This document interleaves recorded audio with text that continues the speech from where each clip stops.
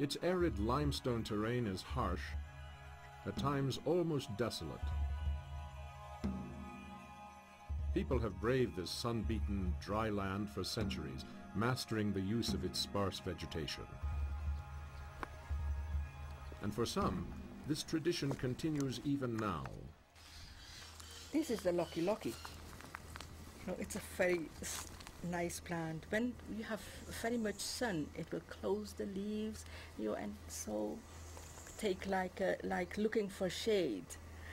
Um, we use it for when we have a headache, so you can take little bits, you know, and do it around the head, and it's it's very very good for people with headaches.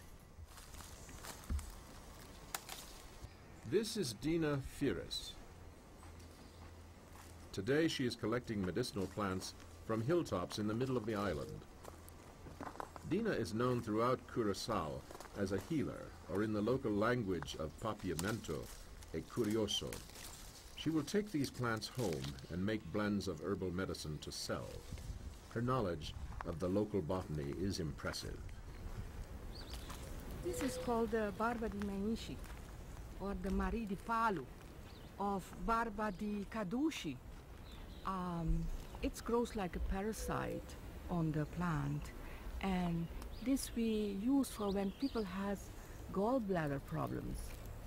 We use this one. I give my knowledge away because i got it from the older people. They gave me their knowledge. And i feel that I have to give that knowledge to other people, to young people, so they can spread it. Besides collecting medicinal plants, Dina is on a mission to also preserve them. In the early 1980s, she began Den Paradera, a magnificent botanical garden where she propagates over 300 species. When Dina was unable to find certain types on Curacao, she traveled to the neighboring islands of Bonaire and Aruba, where the plants had not yet been eliminated from the landscape. Yes, I started in Paradera because I, I saw that we were losing a lot of information, a lot of herbs. You could be today here and, and see a lot of herbs. The next day you will be um, not finding them anymore. So I started to, to bring the herbs to this garden, to keep the knowledge. The garden is very important to me because I cultivate the medicinal herbs. So we can know the stories, we can know what kind of herbs we have on this island and also to learn how to use it. It will be a pity that we lose all the informations of the uses of the culture, you know, because people don't know how to use uh, the herbs the garden is divided in three parts, a botanical part, a historical part, and the production. The botanical parts are the herbs divided in sections for the digestion, for the heart, for the respiratory system. You know, when I started, the people, the people thought I was crazy because I had a good job. Why should I go and make my hands dirt with the land? So they thought, you know. But I had that dream that I needed to, to conserve the culture, to conserve the information and to have the plans. So um, I went on. Even if, if people were, were laughing, it didn't matter. The slaves, when they came here, they brought seeds, you know. Nobody knew that they had the seeds with them. They wanted to survive. They didn't know where they were going, you know. And also when they were here, they could recognize some of the trees and plants that they had in Africa there were people who know the medicinal healing. So as uh, the medicinal doctors, you know, the medical, the, the healing doctors, so they could go to those uh, healing doctors so they could find. Come on in. Have a seat. The old wisdom of medicinal plant use is still practiced at Den Paradera. This Curacao woman, Sonia, is back for a visit. Like many from the Dutch Antilles, she now lives in the Netherlands. Sonia has experienced severe respiratory problems for the past two years, and modern medicines have failed to cure her. She has turned to Dina for help. Just wait here. I will go get the herbs for you. In her kitchen, Dina prepares several medicines made from medicinal plants to cure Sonia's ailment. They are old recipes passed on to her by island elders. In the beginning, when doctors know that I was working, you know, with the plants, they laughed at me. But sometimes I had doctors here in the garden and they start asking questions. But nowadays, I mean, I'm accepted on this island. I know people come for advice. I can call a doctor. They know me and I can ask what's the best medicine at this moment are herbs the best because I believe that we have to work together.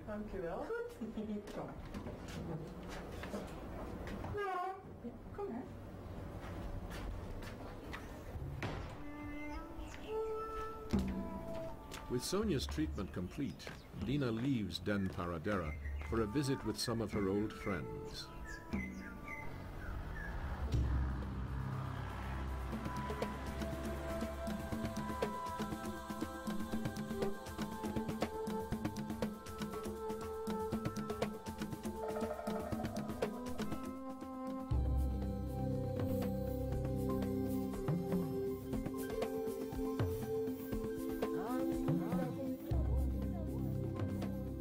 First on Dina's list today is to visit Sister Carmen.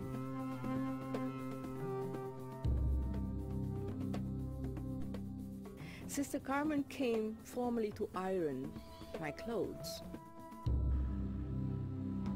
She was one of the number of healers that Dina chronicled in her book, Green Remedies and Golden Customs of Our Ancestors. So then we started to talk. I noticed that she knew a lot about herbs and that she wanted to conserve the herbs and that in her garden she had some herbs. So when she was ironing, I was asking. So I could sit with her for hours and hours and learning from, from Sister Carmen. What is this plant? This is yerba de ole. When a child has a fever, you can put it on their feet or you can give it to them as a tea. How do they do that? They mash it up and mix it with coconut oil and put it on the feet. They also put it behind the ear? Yes, the herb relieves the problem. Dina also stops by the home of another wise elder by the name of Cha-Cha. Herbs are always good. Like chamomile, it will cleanse the insides. The sanjura is always good for the stomach. Morning is the best time to drink herbs. This will give you a good appetite. If you have gas in your belly, you drink your mampuritu and you will get rid of the gas. I had a very good time with Chacha because she has been learning from her aunt of her mother. So she, she knew a lot about medicinal herbs. There are herbs that used to be easy to find. Now you don't see them anymore. Mampuritu is like that. You don't even see it in the schoolyards. It's all gone. It was important for Dina to document the wise words of these elders, for their generation has nearly vanished. Today, few young islanders show much interest in medicinal plants. What we need is people, young people, to learn the herbs from this country. At this moment, you see that plants and medicinal herbs are coming from Colombia, Venezuela, and Santo Domingo. A lot of them are sold on the market. I don't feel very well about that because it's it's not the same culture as that of Curacao. You can see on the market, it's dominating the culture of, of the island.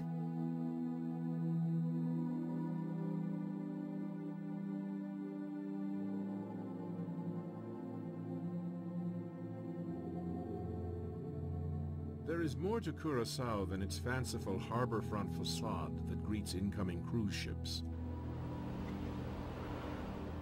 This city has the deepest harbor in the West Indies, making it a regional center for maritime commerce.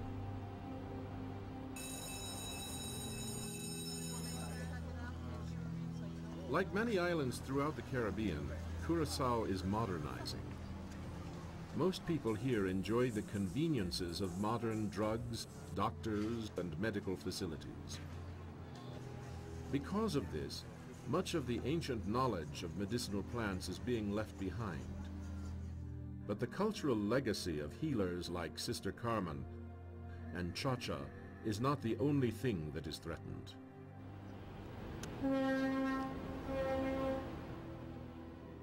The wild places where medicinal plants grow are also under attack from urbanization, industrial expansion, and increased development.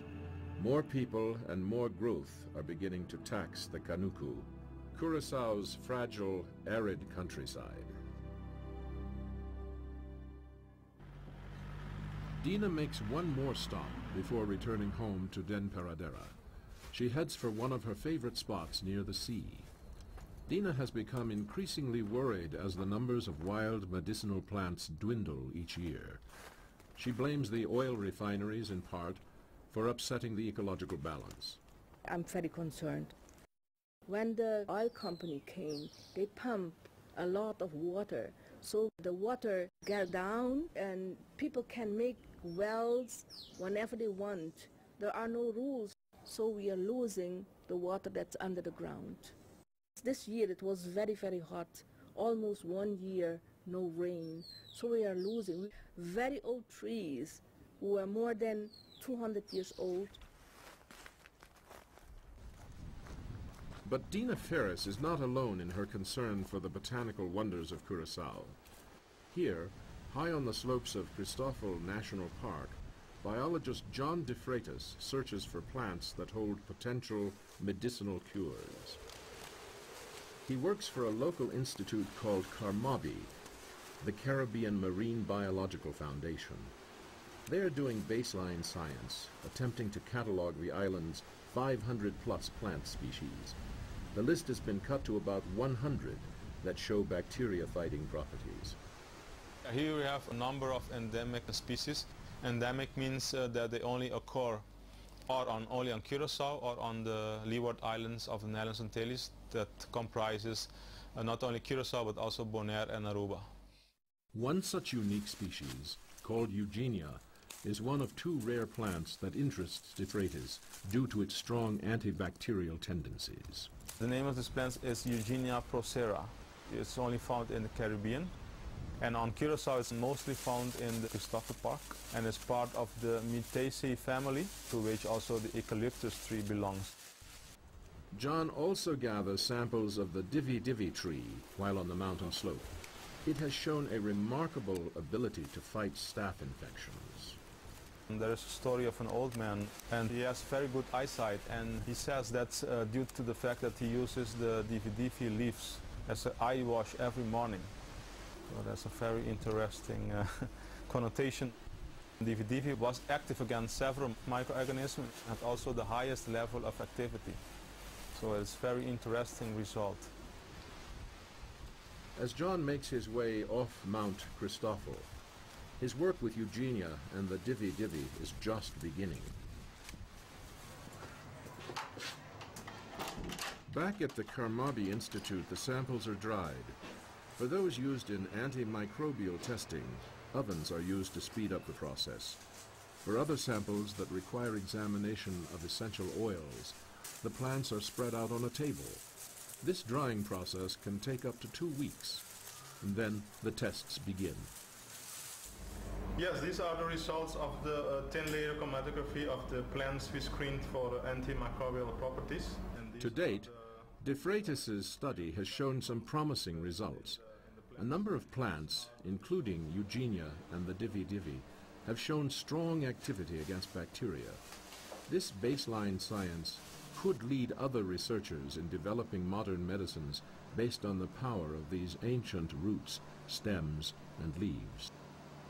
In the year 2000, a study by Conservation International declared the Caribbean as one of the world's biodiversity hotspots, areas rich with flora and fauna of unique qualities. Curacao, in spite of its arid terrain, is surprisingly biodiverse. But John like Dina Veeris, is concerned with the island's future. I'm concerned that certain areas that, that harbor certain plants, uh, unique plant species that doesn't occur anywhere else on the island, it would be um, pity that those areas would be destroyed for uh, economic development. If you destroy those areas, you won't have them back. And it will take many decades for, um, to create areas similar to those with those uh, characteristics.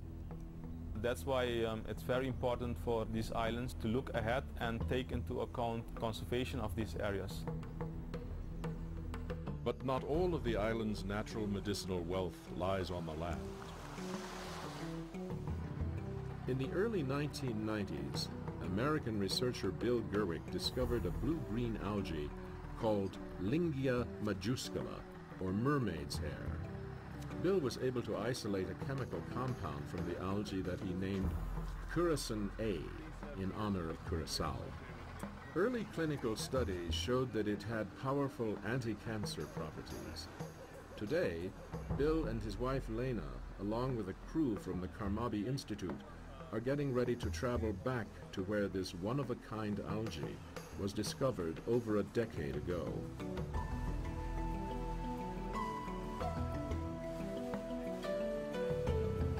We made some of our first collections uh, back in uh, December 1991. And we found that Curacao was very receptive to our coming and exploring their biodiversity for compounds that might be useful to treat uh, human diseases. The particular bay that we've come to focus on is uh, called Spanish Water. So uh, what's really unique about the Spanish Waters Bay is that uh, the blue-green algae growing there it's, all, it's known as Lyngbya majuscula. You can find Lyngbya majuscula in other bays nearby. But when we looked at the Lyngbya majuscula from the other bays, they didn't produce the same compounds. They produced other compounds that were quite interesting, but they didn't produce curacin A. Will you dive a computer or what? No, I don't. This is a shallow dive, so, and it'll be less than an hour. No scorpions in there. That's always nice to know. Gerwick and researcher Dolphy Debrot from CARMABI don their diving gear to revisit the rich collection site where the special algae was originally found. It's been several years since Bill collected here, and he is anxious to see what's below.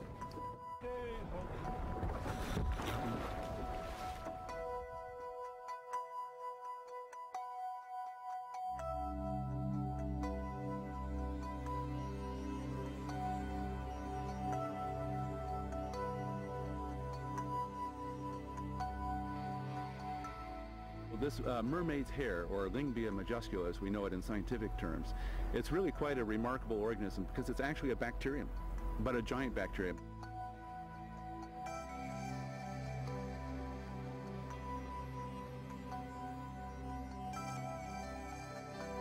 From the mangrove roots, it has one kind of a color. It's growing uh, somewhat back underneath the mangroves, growing down as trellises.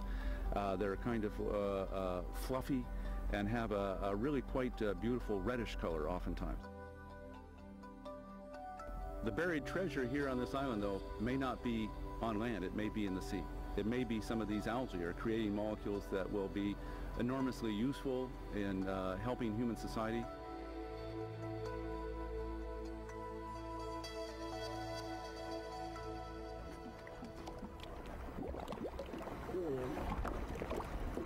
Thanks, Carlos. Hey, that was some great stuff there. We got some good samples. Back on deck, Gerwick eagerly pulls out his field microscope and inspects the new collection. These red hairs when we see them in the field, but here you can see that they're actually a whole series of little pancakes or coins stacked into these long filaments, and they're all encased in that uh, sheath-like material. It's really quite a remarkable organism. It's been really uh, nice to see that those algae are still living in that environment and are still quite healthy. So uh, this is the treasure trove of natural products that we've been studying for the last uh, nearly 15 years now. It's absolutely amazing the, the uh, diversity and biological activity of the compounds that this little seaweed's making. But after the excitement of the moment, Bill discovers a disturbing change in Spanish water. As their boat slowly leaves the bay, the beginnings of a new coastline development come into view. It's really sad and really hard for me to see because it's going to destroy this habitat. This habitat that is very small and very unique and it's giving, given rise to this unique organism. We've not seen this organism anywhere else in the world. It will look just like it does over here. They're going to put in houses and docks and a marina and these kinds of things and it's going to substantially alter this habitat. I would fully expect the organism to disappear. So uh, when I see this kind of development going on and uh, uh, it just really alarms me because what they're doing is they're taking their future, this treasure trove of species and, and chemistry, and they're bulldozing it down. And we may never unearth this treasure again. The, the problem is that the uh, shoreline areas uh, are an integral part of your marine ecosystem. Particularly when you're urbanizing areas like this, you're going to put in uh, native, uh, non-native uh, trees that require pesticides to maintain. You're going to be putting in lawns with a great deal of, of water. They'll require uh, nutrients, that is fertilizers and pesticides to maintain them too and as a consequence, all that stuff leaches into the bay and destroys the habitat, contaminates it. The current island development plan, which was approved in 1997, approves about 90% of the shorelines of this bay for uh, urban uses. And that will mean that this bay will essentially turn into an urban cesspool with just lined with homes, no scenery, no nature left, and a mishmash of boats zooming around. And we already are facing uh, human health-related water quality problems in parts of the bay during parts of the year. I can take you diving on that side of the bay and you'll see beautiful white bottoms, uh, ocean floor, but not due to white sand, which it should be, but due to toilet paper. Not only is the future of mermaid's hair in jeopardy, but Curacin A, its cancer-fighting compound, is also facing challenges in the laboratory. Initial tests were promising and showed the substance to be highly toxic to cancerous cells. But in later experiments at the National Cancer Institute in Bethesda, Maryland, curacin A was found to have solubility issues and was unstable when tested in mice. These problems were a major setback for the development of the compound into a modern drug. And that said to us that the compound was unstable under the conditions of the, the body. So that has led subsequently now to an effort to refine that structure, make it a better molecule. And that's what we really should be looking to in nature.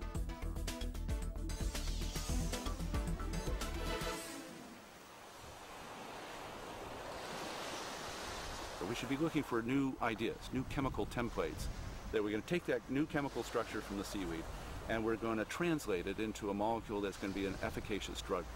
We need to improve its water solubility and its stability in the body, and those efforts are taking place right now in various laboratories around the world. One such place is here at the University of Pittsburgh, where chemistry professor Peter Wipf has taken on the structural challenges of curacin A. The molecule was uh, significant and interesting for us because it targeted a part of the uh, biological machinery within the cell that's quite crucial for its growth, particularly in cancer cells. Basically, cancer cells are very similar to normal cells. And that's why it's so difficult to develop effective uh, anti-cancer agents. Uh, but what we'd like to do is use the ability of structures such as Curacin A and the analogs that are developed on this basis to basically to move cancer cells into what's called apoptosis or programmed cell death, you know, cell suicide. Hello, Jay. How's it going? But first, Professor Wipf and his students had to tackle the inherent problems of Curacin A. They overcame the solubility issue making a chemical hybrid structure much like other drug-like molecules that dissolve easily in water. They also solve the compound's sensitivity to light. It's a molecular tinker toy set and we are able to build just about anything we'd like to build and that's very satisfying, very challenging. You can truly take your visions and test them with the potential goal, of course, of improving uh, the environment, improving human health, improving living in general. Even though the new compound based on Curacin A showed increased biological activity, it faced another problem when tested with lab animals. The compound metabolized too quickly due to the animal's enzymes, not allowing it time enough to attack the tumor. So we now know where the uh, sensitive parts of the molecule are. And so we can address the problems in terms of stability towards the uh, biological environment when the compound is actually given to an animal and is in the blood of an animal. But ultimately we hope that then we will have a compound that in the mouse will basically make human tumors disappear. But that's just the mouse system. So from there on you have to go to a higher animal and reproduce the same findings. To make a modern drug from a natural substance is a long process, one full of delays and challenges. Peter Wipf estimates that the development takes two to seven years. That's not including the clinical trials that can take up to a decade before the drug is finally released to the public. We really would like to uh, see Curacin A analogs move into the clinic and uh, test the hypothesis that we can develop an anti-cancer agent at the molecular level uh, that has the kind of effect that we're predicting, stopping cell division and uh, moving cancer cells selectively into cell suicide. We hope we can accomplish that, uh, uh, but even if we don't get to the final drug molecule, we hope we can learn a lot about the process. So maybe with another natural products next time around, we'll be able to go all the way. So we have all this information. We can follow a single compound very well. Uh, but still a huge challenge and something that um, uh, makes us very modest again is the fact that very often in the end we cannot explain really what's going on. Uh, so we can see that some of these uh, uses of uh, traditional medicine, the folk medicine, that they're very valid. If you look at the big picture, at the overall organisms, people do feel better, they can get better quite well. Back on Curacao, Dina Veeris continues her one-woman crusade to save the traditional knowledge of island medicine and the desert's botanical wealth. Go Billy Bo, go Billy Bo, go If the convergence of ancient roots and modern medicine is to continue, people like Dina are essential human links in this vital process. The future for medicinal plants in Curacao is the hope that I have, the hope that young people can go on with this, the hope that my children will learn to be able to spread, that my grandchildren would be able to know the herbs from the garden and the earth from the mountain. That's the biggest joy I will have.